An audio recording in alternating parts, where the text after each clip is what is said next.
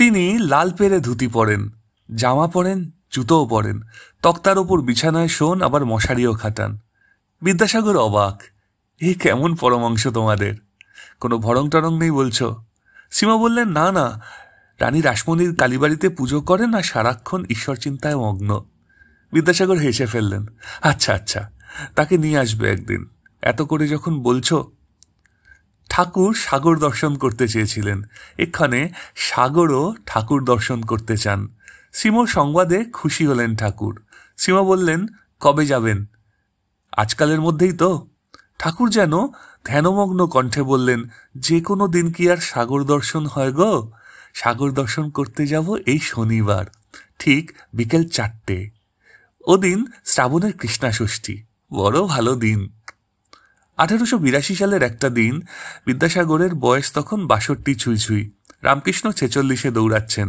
সাগর তখন বাদুর বাগানে থাকেন। ঠিক চারটে বাজতে মিনিট দু এক বাকি একটা ঘোড়ার গাড়ি এসে দাঁড়াল বিদ্যাসাগরের বাড়ির নিকটে। গাড়ি থেকে নামলেন ভবনাথ আর মহেন্দ্রনাথ মানে শ্রীম, হাজরা ও ঠাকুর রামকৃষ্ণ স্বয়ং। বাড়ির ভেতর ঢুকতেই ঠাকুরের চোখ জুড়িয়ে গেল। কি সুন্দর বাহারি ফুলের গাছ যেন নিজের অজান্তেই বলে ফেললেন, আহা, বিদ্যাসাগরের ভেতরটা ভারী নরম গো। সিঁড়ি ভেঙে দোতলা এলেন তিনি। উত্তরে একটা ঘর, পূর্ব দিকে বিশাল বৈঠকখানা, পাশে এক চিলতে শোবার ঘর। কোনো রকম আভিজাত্যের চিহ্ন নেই। প্রত্যেক ঘরের দেয়ালে সারি সারি বই। এই এত বই লোকটা পড়েছেন? হেসে ফেললেন ঠাকুর। বড্ড বিষণ্ন সেই হাসি। এ তো সবই অবিদ্যা। তিনি কই? তাকে জানাটাই তো আসল। এত পড়েছে লোকটা, অথচ সে সেই এককেই জানেনি। বিদ্যাসাগর বসার ঘরেই ছিলেন।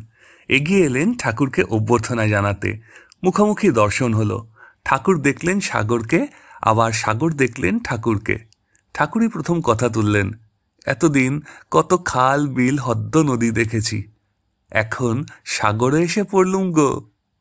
বিদ্যাসাগর মহাশয় রসিকতা করে বলেই ফেললেন এসেই যখন পড়েছেন, নোনা জল কিছুটা নিয়েই যান। ঠাকুর বললেন, নোনা জল কি গো? তুমি যে ক্ষীর সমুদ্র। কথা শুরু হলো। পরমংশ পরম আত্মীয়তায় বিদ্যাসাগরের দান ধ্যানের প্রশংসা করলেন। বিদ্যার প্রশংসা করলেন, বাহুল্য বর্জিত অনারম্বর জীবনের প্রশংসা করলেন। সাগর সব শুনলেন, শুনে মনে মনে আনন্দও পেলেন। তার ইচ্ছা হলো প্রায় নিরক্ষর এই মানুষটার বিদ্যার দৌড় যাচাই করে দেখার। সরব দর্শনে মহাপণ্ডিত তিনি। ঠাকুরকে জিজ্ঞাসা করলেন, ব্রহ্ম কি?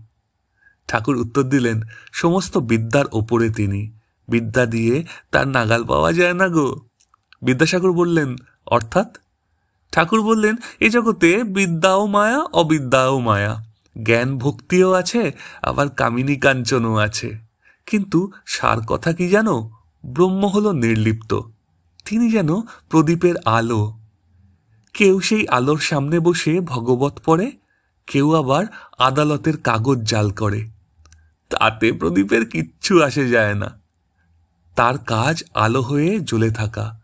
ব্রহ্ম কতকটা তেমনই বিদ্যাসাগরের চোখে অপার বিস্ময়। শাস্ত্রের কঠিন শ্লোকের কত সহজ ও গভীর ব্যাখ্যা তিনি এর আগে কিন্তু কখনো শুনেছেন বলে তার মনেই পড়ল না। আর যার কাছ থেকে শুনলেন, তিনি প্রায় নিরক্ষর এক বামুন ঠাকুর। এও কি সম্ভব? ঠাকুরের থামার বালাই নেই গড় গড় করে বলে চলেছেন, শোনো বিদ্যাসাগর, বেদ, পুরাণ, তত্ত্ব, স্বরদর্শন, এসবই এটো। একমাত্র ব্রহ্ম, সে কোনোদিন এটো হলো না। ব্রহ্ম যে কি, আজ পর্যন্ত তাকে কিন্তু বলতেই পারেনি কেউ। বিদ্যাসাগর বাধা দিয়ে বললেন, কিন্তু বেদে যে ঠাকুর হাসলেন, জানি গো জানি, তোমাদের বেদে কি আছে জানি। বেদে আছে ব্রহ্ম আনন্দ স্বরূপ সচিদানন্দ। তিনি জানতে চাইলেন, ব্রহ্মজ্ঞান কি পাওয়া সম্ভব? ঠাকুর বললেন, সম্ভব। তার জন্য সমাধি চাই। কিন্তু সমাধিস্থ হলে বিচার একেবারেই বন্ধ থাকে। কাউকে সেই উপলব্ধির কথা জানানোই যায় না। একবার একটা নুনের পুতুল সাগরের গভীরতা মাপতে গেল। যেই সেই সাগরের জলে ডুবল, অমনি গলে জল। আর তার কোনো গভীরতা মাপা হলো না। ঘি যতক্ষণ কাঁচা, ততক্ষণই তার কলকলানি জমাট ঘিয়ের আর কোনো শব্দ নেই। শূন্য কলসিতে জল ভরছ ভকভক ভকভক শব্দ। আর যেই জল ভর্তি হয়ে গেল, আর কোনো শব্দ নেই। ব্রহ্ম কতকটা এমনই। বিদ্যাসাগর এবার জানতে চাইলেন, ব্রহ্ম আর ভগবান কি এক? ঠাকুর বললেন, যিনি ব্রহ্ম, তিনিই ভগবান। তবে ব্রহ্ম হল নির্গুণ, নিরাকার।